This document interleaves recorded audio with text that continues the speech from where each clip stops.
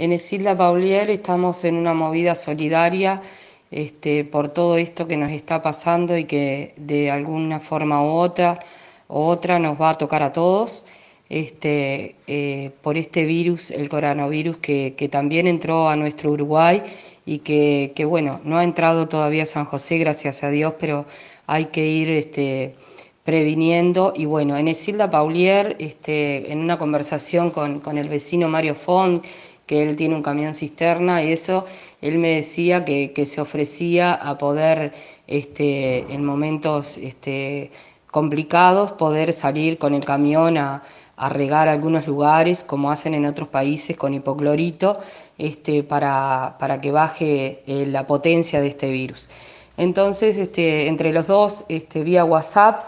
este, lo fuimos organizando, invitamos a a la Comisión de Plaza Deportes, que es un grupo de vecinos que, justamente hay muchos que también integran algunas comisiones de la localidad. También este, invité al grupo de Puentes de Esperanza, al cual este, soy este, la referente de ese, de ese grupo, este, y también se sumaron.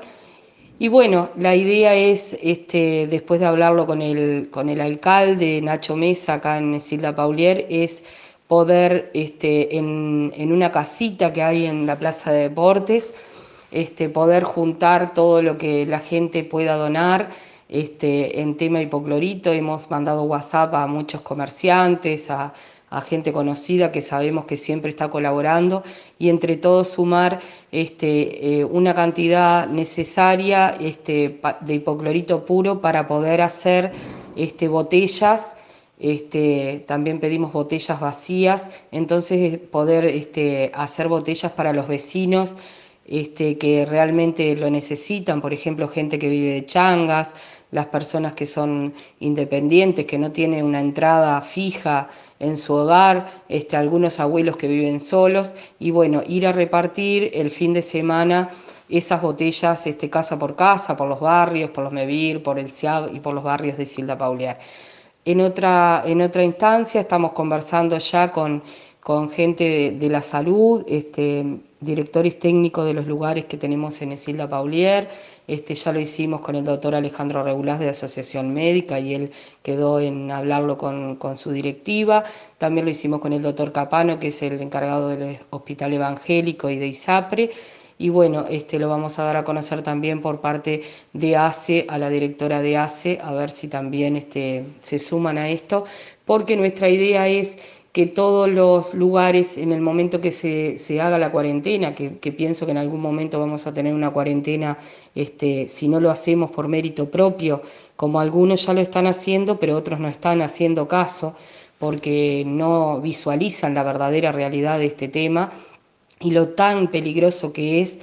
este, bueno, vamos a, tener algunos lugares poco abiertos, o sea que vamos a, tener, a contar con una carnicería, una panadería, un supermercado o algún almacén, los prestadores de salud, que en todos los países es a los lugares que, que va la gente una vez al día o cuando realmente lo necesita. Entonces, con ese hipoclorito que nos sobre, que vamos a tener una cantidad necesaria en resguardo, vamos a ir este, cada dos o tres días a ir a como a lavar el frente de esos lugares, que es donde va a estar concurrido en esos momentos y que, y que bueno, y que van a dejar el virus porque se lleva con el, con el calzado y bueno.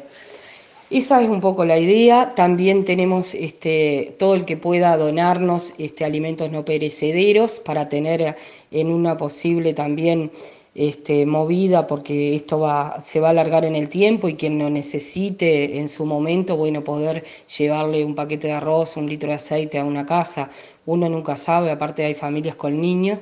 y, bueno, y si esto sigue más, eh, bueno, también se puede hacer los fines de semana, este sábado y domingo, alguna olla popular, ya que de lunes a viernes los niños tienen la comida desde la escuela y desde el club de niños, así que por eso no sería tan, tan, este, tan necesario, pero los fines de semana este, no tendrían este, con qué alimentarse. Así que bueno, este, ojalá que, bueno, que la sociedad también de libertad se pueda contagiar de esta idea, o todos los que la están escuchando, y sumarle otras cosas, porque bueno, esto fue medio rápido y, y bueno, es medio improvisado, pero realmente nuestro espíritu es poder colaborar, ser solidario y tener empatía con el que hoy está este, complicado, porque bueno, el que se va en seguro de paro tiene su, su sueldo, este, y bueno, y, y, todos los que tienen ingreso también, pero los que viven de changas y los que son independientes no lo tienen, y los que viven también en la calle, no hay que olvidarse, al igual que los abuelos que viven solos, este, y que bueno, que van a tener su prohibición de salir, tenemos que acordarnos de ellos que también existen. Gracias a Dios, este, la sociedad de Silda, nuestra ciudad y quinta sesión, este, no somos tan grandes ni tenemos tantos habitantes, acá todos nos conocemos y por suerte este, no es tanto lo que hay que, que hacer para, para, poder lograr esto. Este, yo sé que hay lugares más grandes, está, este, está Montevideo, está San José, está Libertad, Ciudad del Plata, pero bueno, si todos ponemos nuestro granito de arena, me parece que, que podemos llegar a ganarle este, esta batalla a este virus que realmente nos va a llegar a todos sin color, sin edades. Este, esto hay que hacerlo eh, de espíritu, con el espíritu y el corazón para que, que podamos este, ayudarnos entre todos y a todos. Y esto también nos da una enseñanza de que, de que nadie es el ombligo del mundo, que nadie por todo el poder, el dinero o la posición que tenga se salva de, de cosas como estas, ¿no? Este, este señor virus entra a la casa de todos, este, del más rico, del más pobre, del que tenga y no tenga.